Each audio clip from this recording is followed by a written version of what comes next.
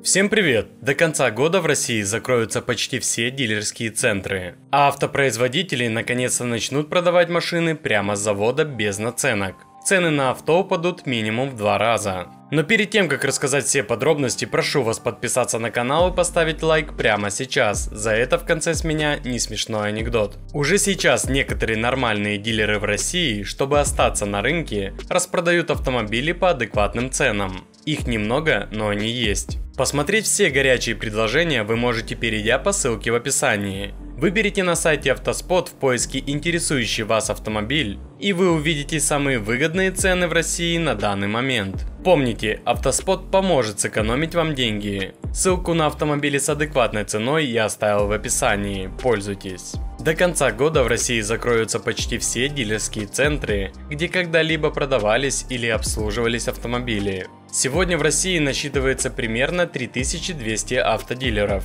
однако к концу года их останется около 500 штук. А российские и китайские автопроизводители уже сейчас готовы продавать авто прямо с завода, без наценок.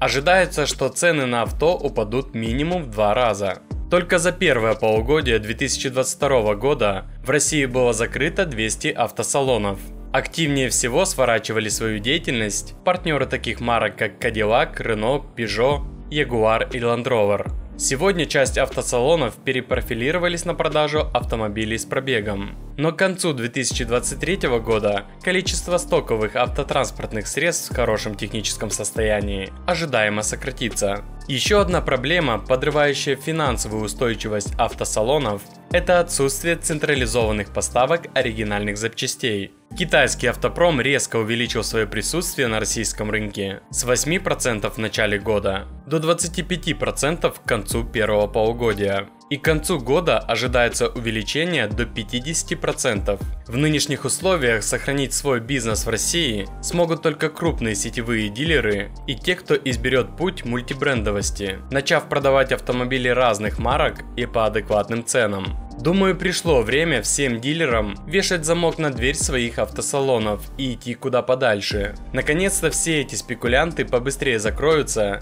и надеюсь надолго. Ждем, когда они разорятся и будет возрождаться новый авторынок с конкурентными ценами. Дилеры за 2020 и 2021 год увеличили свою выручку в 10 раз. Теперь сидят, в ус не дуют, жирка набили. Думают на нем протянуть, пока новая волна не нахлынет, уроды. Если государство не может решить эту проблему, решит параллельный импорт или продажи завода. Просто вдумайтесь, тот же Черри могут сейчас скинуть хотя бы 50% на свои машины и даже при этом будут в офигительном плюсе. Ну не мудаки ли? Ну и обещанная мною шутка юмора.